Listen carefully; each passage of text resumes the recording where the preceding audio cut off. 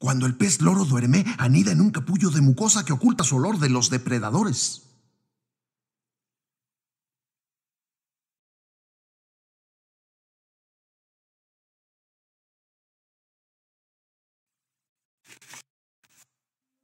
La relación entre los peces payaso y sus hogares anémona es tan sorprendente como la relación entre las Oosantelae y la Tridacna gigante. No podrían vivir uno sin el otro.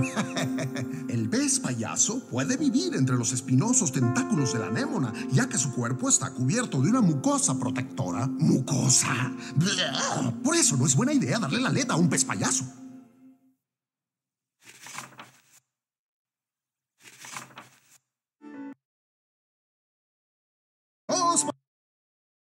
Simpáticas criaturas. A diferencia de la mayoría, estos peces son vegetarianos. Como las vacas digieren la materia de las plantas fermentándola en su intestino. También como las vacas tienen espinas filosas ocultas en su cuerpo que usan para defenderse de los depredadores que los... ¿Qué? ¿Desde cuándo?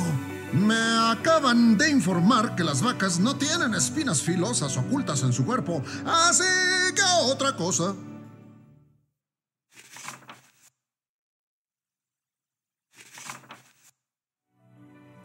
Aquí hay algo de lo que sí sé un poco de mí. Con un cerebro muy grande, las rayas somos de las criaturas más inteligentes del arrecife, como si no lo supieran. Aunque agraciadas y elegantes, las rayas no somos muy veloces, pero nos cubrimos de arena como mecanismo de defensa. Los depredadores no nos atrapan si no nos ven. Siendo crepusculares, la mayoría de nuestras actividades las realizamos al ocaso o al amanecer. La oscuridad no es un problema para nosotras, ya que percibimos las cosas eléctricamente. De hecho, estoy percibiendo su reproductor de DVD.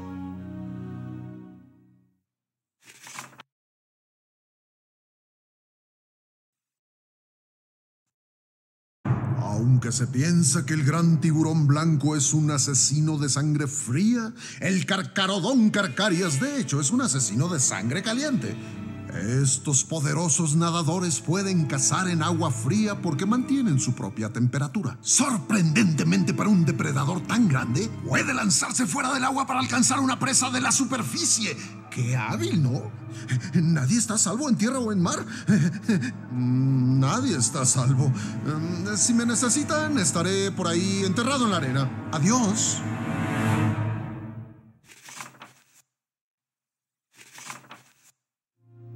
Después de nadar millas y millas, las madres tortugas se arrastran por la playa para dejar sus huevos. Después de enterrarlos en la arena, las madres dejan sus huevos y regresan al océano. Cuando el cascarón se rompe, estos intrépidos recién nacidos son la exacta definición de autoconfianza. Su extraordinario instinto las guía hacia el océano, donde nadan hasta el fondo del mar buscando a su madre para decirle, oye, qué bonito dejarnos enterradas en la arena, ¿eh? ¿Ibas a regresar a ver cómo estábamos? En ese momento la madre tortuga envía a sus bebés tortuga a sus cuartos para que descansen. Y esa es una de las razones por las que la señora Raya y yo nunca tuvimos hijos.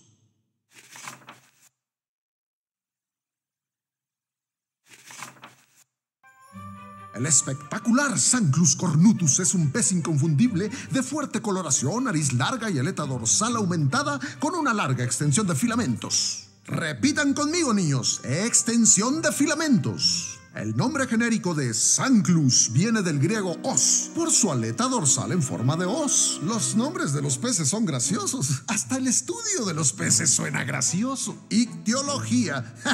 Ictiología. Me encanta.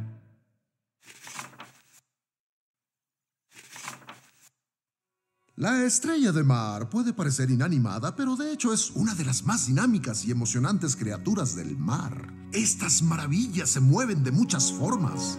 El truco es ser paciente. Créanme, cuando se mueven en verdad vale la pena la espera. Observen muy lentamente y, bueno, nada aún. Recuerden, paciencia. Cada movimiento es como una joya para estudiar. ¡Alto!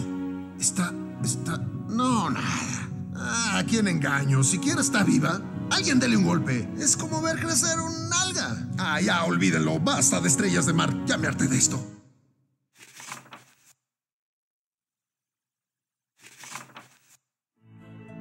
El Diodon holocanthus puede ser lindo, pero también es uno de los peces más venenosos del mar. Se le conoce como pez globo porque, ante el peligro, se infla para verse más poderoso. Para lograr esta asombrosa forma llena su cuerpo de agua hasta estirar su piel. Así saca sus filosas espinas, lo que hace imposible que los depredadores lo coman. Por desgracia, aunque el pez globo se infle, aún está a merced de otros en el océano, principalmente peces adolescentes que lo usan como balón de voleibol o globo de desfile.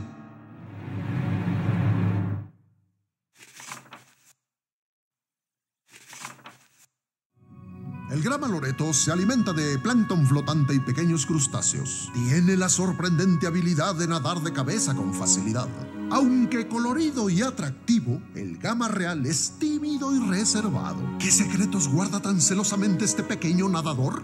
¿Qué puede saber un pez que lo hace tan reservado? ¿Hay algo que no sabemos y deberíamos saber?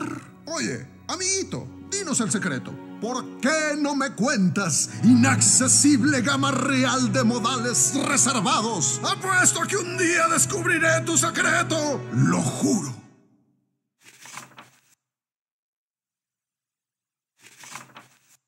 El nombre común del Lismata moinensis es gamba limpiadora, lo cual describe el increíble papel que juega esta pequeña criatura. La gamba limpiadora trepa sobre otras criaturas y las desparasita. Así se alimenta la gamba y mantiene saludables a los habitantes del océano. Al comer tan rápido, la gamba parece estar comiendo de su pecho. Pero los científicos han descubierto que el golpeteo de su pide la cuenta al terminar su platillo.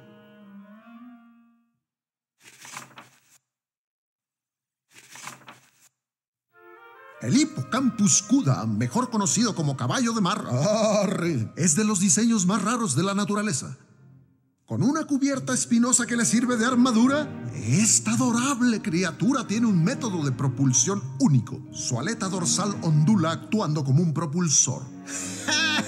Deberían llamarlo helicóptero Scuda. ¿Entienden? es un helicóptero. bueno, es todo.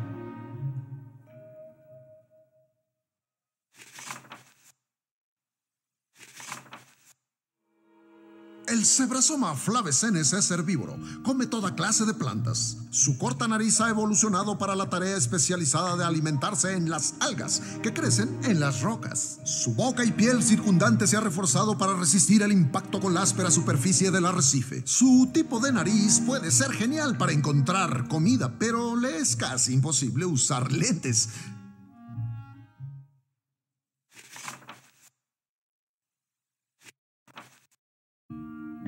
Ah, el adorable pez gato chocolate, también conocido como pez cebra. Con sus notables rayas blancas y negras, podrían llamarlo el rayado, o la persiana, o la cerca empalizada frente al carbón, o el pez de ébano y marfil.